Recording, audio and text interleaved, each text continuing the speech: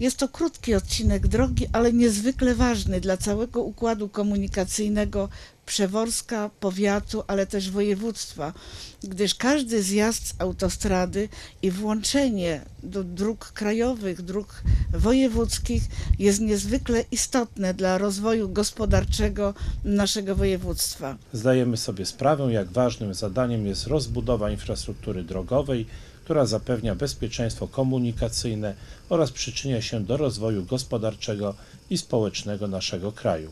Cieszę się zatem, że została zrealizowana strategiczna inwestycja, która z pewnością korzystnie wpłynie na poprawę warunków życia mieszkańców regionu.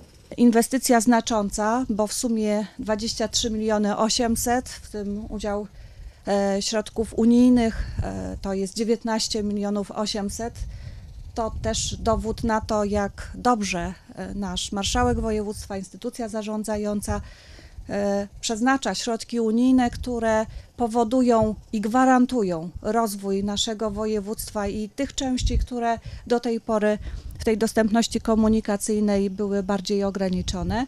Przeworsk od wielu lat postulował o budowę łączników, o budowę nowe rozwiązania komunikacyjne, transportowe, bo zawsze to było wąskie gardło i zawsze miasto było zablokowane zarówno przez ruch towarowy, jak i ruch osobowy. Dlatego bardzo cieszymy się, że te problemy są rozwiązywane sukcesywnie.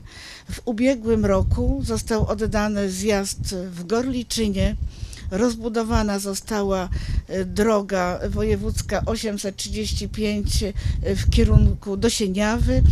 E, Jednocześnie jest rozbudowywany, jest przebudowywany most na, San, e, na Sanie, co pozwala usprawnić, em, rozprawnić ruch towarowy, jak i ruch pojazdów w kierunku północnym, ale też wschodnio i zachodnim. Oddajemy dzisiaj do ruchu odcinek drogi wojewódzkiej 835 od węzła autostradowego Przeworsk do Starej Czwórki, czyli do obecnej drogi krajowej y, DK 94.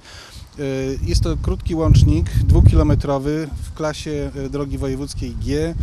Y, Na pełne parametry nośności pozwoli przenieść cały ruch związany właśnie y, łączący autostradę z drogą krajową y, i w ten sposób wyjąć, wyprowadzić ruch z centrum miasta. Do tej pory, żeby dojechać do Starej Czwórki, trzeba było przejechać przez centrum Przeworska. Od dzisiaj, a właściwie już od kilku dni, takiej potrzeby nie ma.